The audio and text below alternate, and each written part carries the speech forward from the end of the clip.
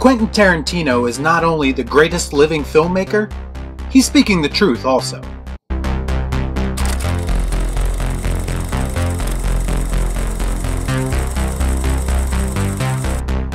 Before I get started, I'd like to kindly ask that you hit the like button and please subscribe to the channel for more content just like this. Pretty please, with sugar on top. A couple of weeks back, I made a video about Quentin Tarantino's recent comments about him possibly thinking about quitting before his 10th film. In a recent interview with Bill Maher, however, he has kind of backtracked on that. So we are most likely getting his 10th film, which I, of course, am very happy about because let's be honest, if he made 100 movies, I'd watch every single fucking one of them.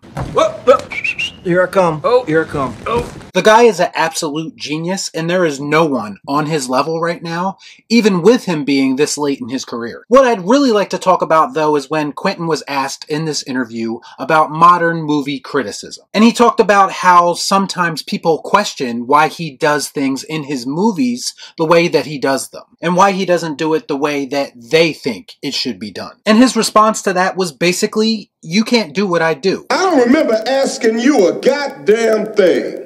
And that's about the only way you can answer someone who has the absolute gall to question Quentin Tarantino about his directing or his writing decisions. But this led into his next point, which was about how ideologies have become more important than art. And here's where it gets really good. He makes it seem as if in most modern cinema, ideology trumps art. It trumps effort. It even trumps goodwill. He goes on to say that ideologies now trump entertainment as a whole. You see, this is why I love Quentin. Not only does he make great movies, but he gets it. He knows what's important and what makes a movie good. Even if most other people in Hollywood are absolutely clueless about that right now.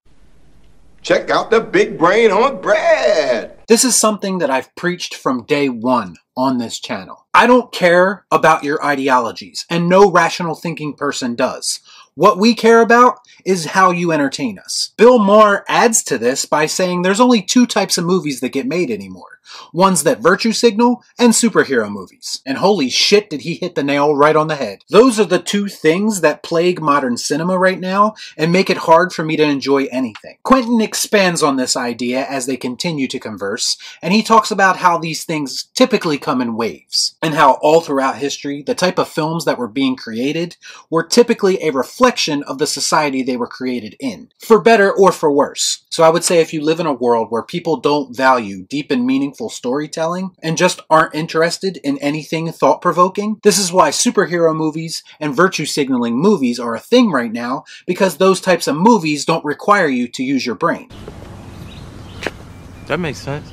They're movies designed for instant gratification and validation to the audiences that they are targeting. If you're a fan of that, then that's fine. But the problem is, is that you have people like Quentin Tarantino, Martin Scorsese, David Fincher, who still believe in the entertainment aspect of movies in addition to the art side of movies. They still believe in putting effort into everything that they create. And honestly, right now, those people are getting overlooked in favor of popcorn movies. Now, there's nothing wrong with popcorn movies. They've always existed, and I like a lot of them. But the problem is, is that they're dominating the market right now. And sometimes, if you're like me, you just want something a little bit deeper. I don't know, at the end of the day, you just kind of want something that's just a little deeper, really. Yeah, yeah buzz deeper. Even the art house films, which are supposed to be deeper, are now being designed as agenda platforms rather than what they used to be about, and that was doing more with less. And if you don't believe me, just look at how the Oscars are now structured. You have to fill quotas before you can even be considered for an Oscar. That, my friends, is what happens when it's not about the art form anymore. Quentin Tarantino, for instance, has never made a bad film, in my opinion, and he's arguably made three masterpieces. And you know what? He has zero Best Picture or Best Director Oscars under his belt. Why is that? Because his movies don't fit in with modern ideologies, which is unironically why I like them so much. But by him just mentioning this, it's become very clear that Hollywood has a real problem here. This is why they have such a difficult time creating memorable movies that stand the test of time. When it comes right down to it, they're just focused on the wrong things. They've always been about making money, but that's all it's about anymore. There's no artistic integrity whatsoever to speak of in Hollywood right now. I'd buy that for a dollar. Bill and Quentin also talk about the golden age of cinema in the 60s and the 70s, when we were getting movies that defined the art form and are just as relevant today as the day they were released. Is anyone going to remember Kong vs. Godzilla in 20 years? I know I won't. I forgot about it about five minutes after I watched it. Oh, I got a live one here.